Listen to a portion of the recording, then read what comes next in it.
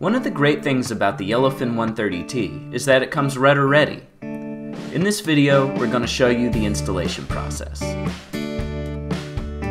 What you need is some duct tape, a Phillips head screwdriver, and a blade of some type. The first step is to loosen the tracks so that you can take the foot braces off. You're going to need to flip them and switch them to the opposite side of the boat. Then tighten the tracks back on. Repeat these steps on the back foot braces as well.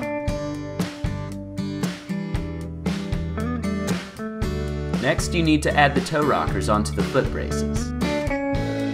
To do this, clip the toe rocker on and insert each spring clip into the gaps.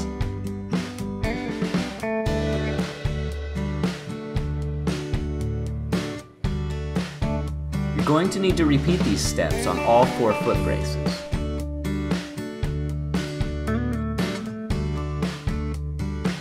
After all the toe rockers are on, you're ready to run your steering cables through the boat.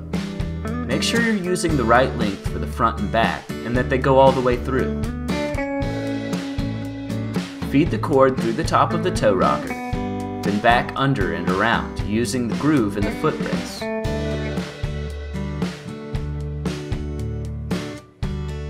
Then tie the end of the cord to the loop at the end of the track with a simple overhand knot with four twists.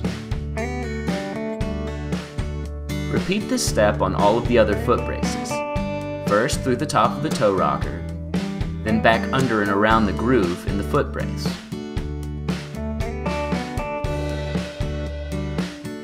Tie each cord in to the loop on the front of each track.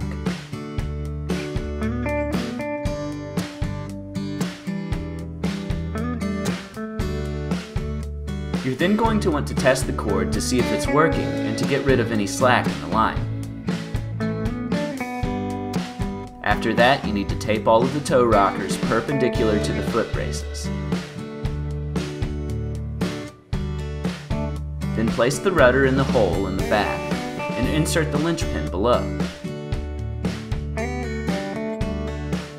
Next, you're going to run the deployment cable through the cam cleat and through the back of the boat. Then unfold the rudder and run the cable through the bottom.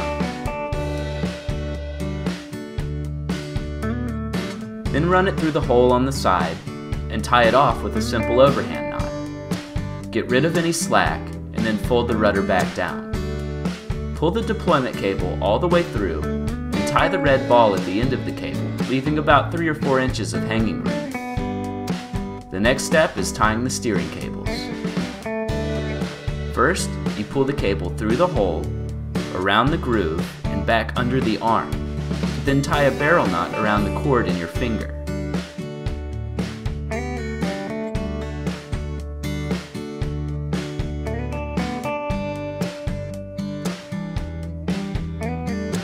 After looping the cord around, remove your finger to thread the cord through the loops and tighten the knot.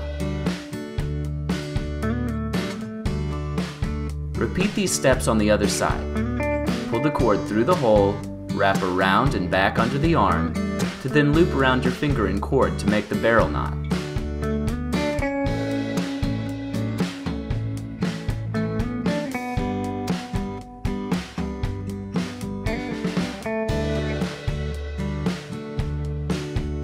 After a couple loops, slip your finger out, thread the cord through, and pull to tighten. Repeat this process with the other cords as well, going around the groove and under the arm. When you're tying the barrel knot, go over both cords and just tighten the knot over the first cord's knot. Do the same thing with the last cord on the other side.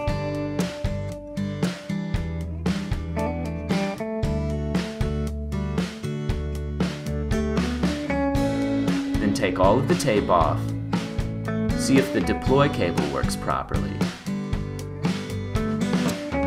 Then test out the toe rockers and steering cables. Then cut off the excess cables in the back, and you'll be ready to hit the water.